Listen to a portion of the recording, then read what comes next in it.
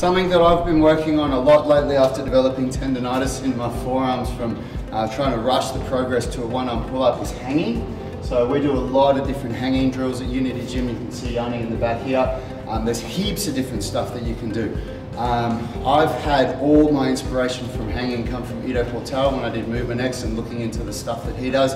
So uh, yeah, we're just integrating it into our uh, routine here. It's a big part of what we do at Unity Gym and um, everything's getting better, you know. What's that? Talk about shoulders. So the, um, the reason... So the reason why we do all this hanging is uh, there's multiple reasons. One, it's really, really good to strengthen your grip in your forearms.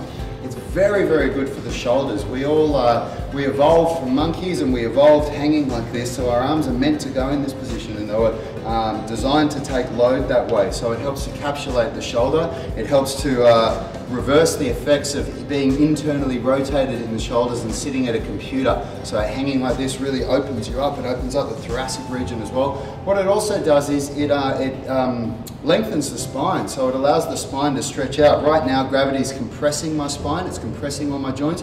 But when I hang, the spine and the whole body gets lengthened out. And over time, you get some uh, really beautiful things happening in the body. So your joints go back to the positions that they're meant to be. So there you have it guys, that's uh, just a bunch of ideas for you to try with hanging. Um, the first one you want to start with though uh, is just a dead hang. So start with the basics and uh, you know work some of that into your routine, see what happens to your body.